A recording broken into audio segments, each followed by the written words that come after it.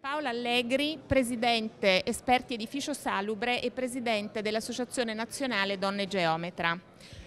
Questa nuova competenza all'interno dell'Associazione Nazionale eh, dei Geometri Italiani eh, che avete definito esperti in edificio salubre. Puoi spiegarmi eh, il percorso che avete fatto molto velocemente e quali sono i risultati acquisiti fino ad ora? L'esperto dell'edificio salubre nasce eh, per partecipare alla ripresa del mercato nell'edilizia.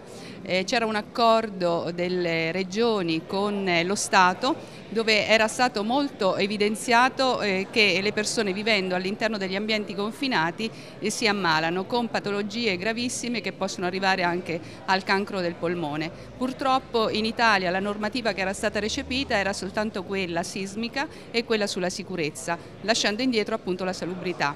Da un approfondimento insieme all'Università eh, di Trieste, la Facoltà di Medicina e Chirurgia, abbiamo approfondito il tema e ci siamo resi conto che eh, ogni anno spendiamo 1215 miliardi delle vecchie lire in salute e tutte queste malattie proprio si contraggono all'interno degli edifici, sia essi pubblici sia essi privati.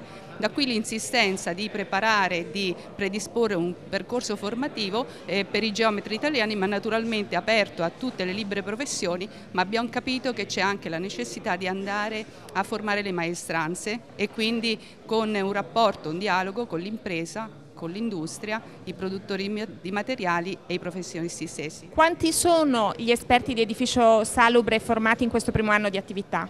E quest'anno ne abbiamo formati 200, i primi 100 già sono attivi e gli altri 100 faranno gli esami a fine di questo mese.